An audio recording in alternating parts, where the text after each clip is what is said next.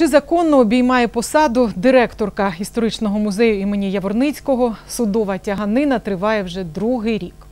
Я нагадаю, на першому відкритому конкурсі на посаду очільника історичного музею імені Яворницького, яке відбулося восени 2018-го, обрали Юлію Піщанську. Одна із інших претенденток на посаду залишилася незадоволена результатами конкурсу та звернулася до суду. Головне питання позивачка мала до професійної кваліфікації комісії, яка, начебто, провела конкурс із порушеннями.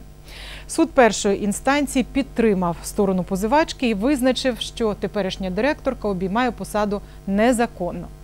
Відповідачка подала на апеляцію. 13 серпня відбулося чергове засідання апеляційного суду. В результаті розгляду суд попросив сторони надати необхідні документи і оголосив про перерву у розгляді справи до 9 години ранку 1 жовтня. Музей, як відомо, активно працює і нарікань на діяльність директорки немає. До офіційного з'ясування обставин по справі суд поновлює судовий розгляд та зобов'язує представника відповідача надати судове засідання для дослідження положення про депутатську комісію з питань культури та ЖКХ, якою було відхилено кандидатуру третьої особи, Якщо було таке, так? якщо було таке. Так. І надати письмове пояснення. стосовно обов'язковості рішення конкурсної комісії і позивач, і відповідач, і третя особа, будь ласка, ваше міркування з цього приводу, оскільки це важливо взагалі для вирішення питань